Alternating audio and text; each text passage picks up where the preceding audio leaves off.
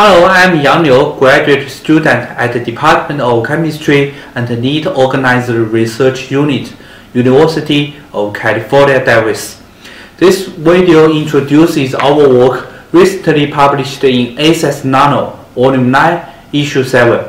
The research is a joint collaboration led by Professor Gangyu Liu and Professor Futong Liu at UC Davis and Dr. Tai Lawrence at Lawrence Livermore National Lab.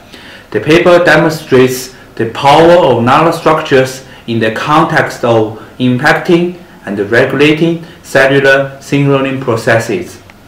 As you know, a living cell interacts with the external environments such as extracellular matrices by using its membrane receptors.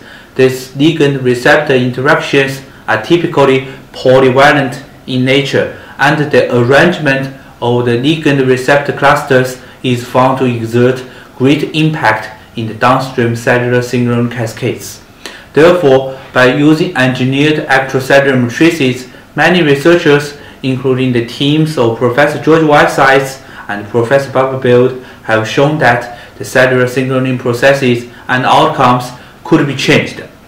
With the development of nanotechnology, our work indicates that these ligands could be arranged with nanometer precision, which enables precise arrangement of the ligand receptor clusters. The outcome of the nanoengineering is striking.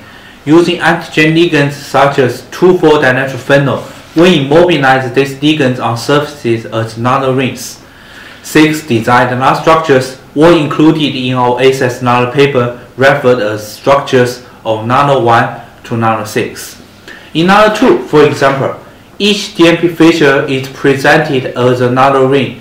The periodicity is 800 nanometers, while the ring width and the inner diameter are about 120 nanometers and 153 plus minus 6 nanometers respectively.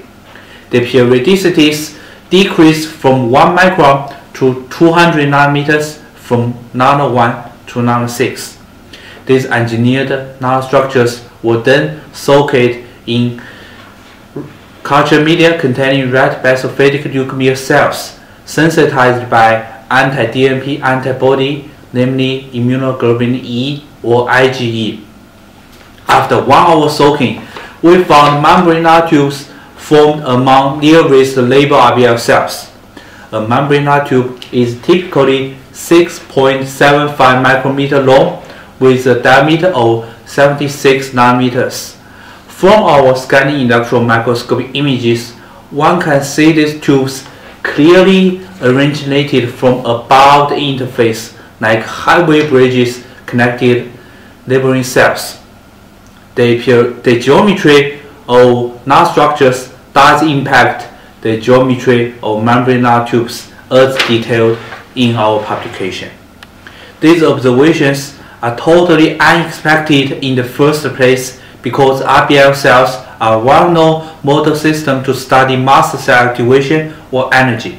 In those cases, membrane Fc epsilon R1 receptors bound to antigens to form clusters which causes degranulation to release histamine.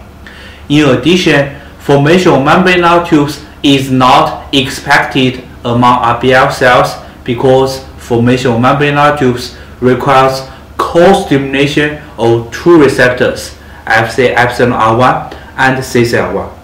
However, RBL cells do not have CCL1.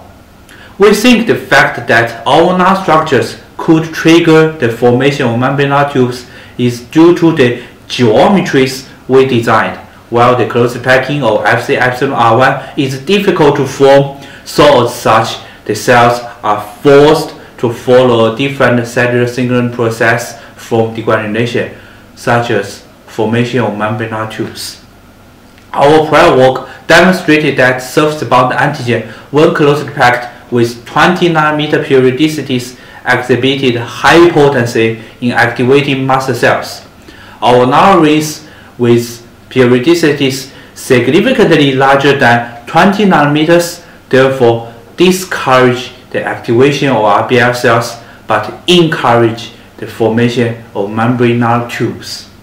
Membrane tubes provide membrane continuity among kinetic cells and enable intercellular exchange of both membrane-carrying molecules and cytoplasmatic contents. They play vital roles in many physiological processes including immune defense, tumor genesis, transmission of pathogens, and cell differentiation.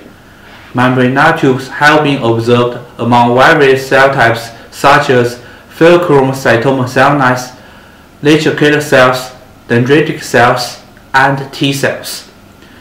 Our finding of membrane nanotube formation among immune cells sparks much interest in regulation of immunological processes. More, in, more importantly, our work demonstrates that nanotechnology could open many more opportunities to regulate cellular signaling processes previously unanticipated or unimaginable. We hope more and more research and work will be carried out in this exciting expedition.